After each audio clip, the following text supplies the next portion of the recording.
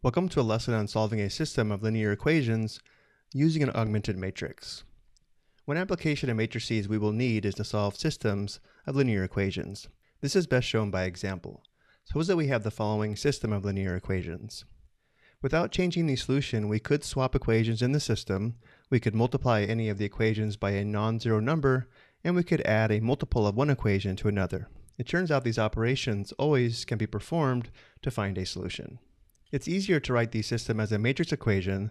The system above can be written as a matrix equation shown below, where we have the coefficient matrix times the variable matrix equals the constant matrix. Remember, we can also refer to these column matrices as vectors. To solve the system, we put the coefficient matrix, which again is the matrix on the left side of the equation, together with the vector or matrix on the right, and get what's called an augmented matrix. Below we have the augmented matrix for the system of equations. And now we apply the following three elementary operations to determine the solution. Number one, we swap two rows. Number two, we multiply a row by a non-zero number. Number three, we add a multiple of one row to another row. We keep doing these operations until we get into a state where it is easy to read off the answer, or until we get a contradiction indicating no solution, or possibly infinite solutions. And we'll talk more about this later. We generally try to use row operations until the following conditions are satisfied. The first from the left non-zero entry in each row is called the leading entry. So the conditions are number one, the leading entry in any row is strictly to the right of the leading entry of the row above. Two, any zero rows are below all the non-zero rows. Three, all leading entries are one. Four, all the entries above and below a leading entry are zero. Once all these conditions are met, the augmented matrix is in reduced row echelon form.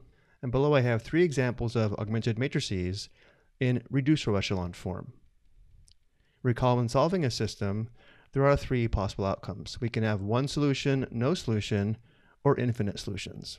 If we have a system of three equations with three unknowns, and there's one solution, in reduced row echelon form, the augmented matrix will resemble this augmented matrix on the left, notice how we have a main diagonal of ones. All the entries above and below the ones are zeros. This indicates there's one solution.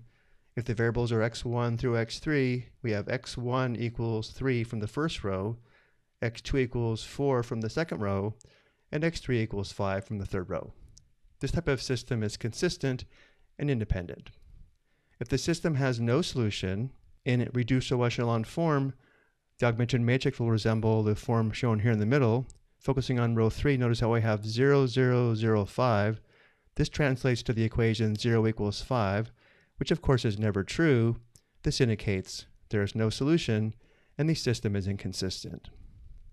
If there's an infinite number of solutions, in reduced echelon form, we have a row of zeros like we have here on the right. Again, a row of zeros indicates 0 equals 0, which is always true. This indicates an infinite number of solutions. Row 1 indicates x1 plus 2x3 equals 3. Row 2 equals x2 equals 4. Notice how we don't have a leading 1 in the third column for x3. x3 is a free variable, meaning it can take on any value. The infinite solutions can be expressed as x1 equals 3 minus 2x3 and x2 equals 4. Sometimes we introduce a new variable for the free variable, shown here on the right where we have x3 equals t, and therefore x1 equals 3 minus 2t, and x2 equals 4. This type of system is consistent and dependent. And now let's take a look at an example of writing an augmented matrix in reduced row echelon form. So again, going back to the system of equations we started with, that's here on the bottom of the screen, we have the augmented matrix here on the top, and now I'll perform row operations to write the augmented matrix in reduced row echelon form. Let's begin by replacing row 1 with 1 half times row 1. This gives us a row of 1s. Row 2 and row 3 remain the same. And now let's work on getting some zeros.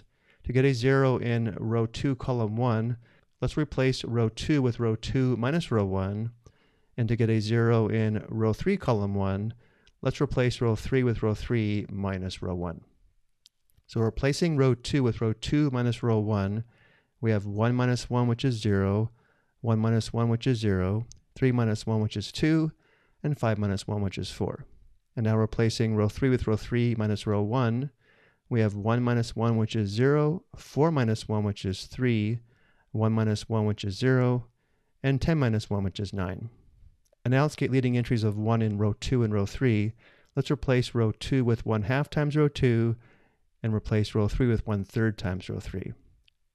Row 1 remains the same. Row 2 becomes 0, 0, 1, 2. Row 3 becomes 0, 1, 0, 3. For the next step, we will interchange row 2 and row 3, shown here. Now we're very close. We need to get a 0 in row 1, column 2, as well as row 1, column 3. Let's get a 0 in row 1, column 3 by replacing row 1 with row 1 minus row 3. Notice by using row 3, we don't lose the 1 in row 1, column 1, as well as the 1 in row 1, column 2. Replacing row 1 with row 1 minus row 3, we have 1 minus 0, which is 1, 1 minus 0, which is 1, 1 minus 1, which is 0, and 1 minus 2, which is negative 1. And now we need to get a 0 in row 1, column 2. We can do this by replacing row 1 with row 1 minus row 2. Because row 2 has a 0 in column 1 and column 3, we don't lose a leading 1 in row 1. We also don't lose the 0 in row 1, column 3. Row 1 minus row 2 gives us 1 minus 0, which is 1, 1 minus 1, which is 0, 0 minus 0, which is 0, and negative 1 minus 3, which is negative 4. Now we have reduced row echelon form, and we can see we have one solution. The first row indicates x1 equals negative 4. The second row indicates x2 equals 3. The third row indicates x3 equals 2. You may want to pause the video and verify that these values do satisfy the system of equations. Let's look at one more example. The following augmented matrix is in reduced row echelon form. The first row indicates x1 plus 2x2 equals 3. The second row indicates x3 equals 1. Notice in the third row we have a row of zeros indicating 0 equals 0. 0 equals 0 is always true. This indicates we have an infinite number of solutions. Also notice we don't have a leading 1 in the x2 column, indicating x2 is a free variable, meaning x2 can take on any value. We know we have an infinite number of solutions, which we can express as x1 equals 3 minus 2x2 and x3 equals 1, or we can introduce a new variable for the free variable x2 and let x2 equal t, and therefore x1 equals 3 minus 2t, and x3 equals 1. On the other hand, if during the row reduction process we come up with the augmented matrix below, focusing on the third row we have 0, 0, 0, 3, which indicates 0 equals 3, which we know is never true, this indicates the system has no solution. So we can go ahead and stop here. The first two rows become irrelevant.